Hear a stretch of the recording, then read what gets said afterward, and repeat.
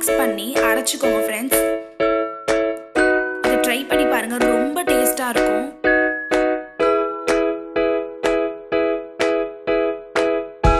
ஐம்பது கிராம் சர்க்கரையை நல்லா மிக்ஸ் பண்ணிக்கோங்க ஃப்ரெண்ட்ஸ் பாயாசத்தோட.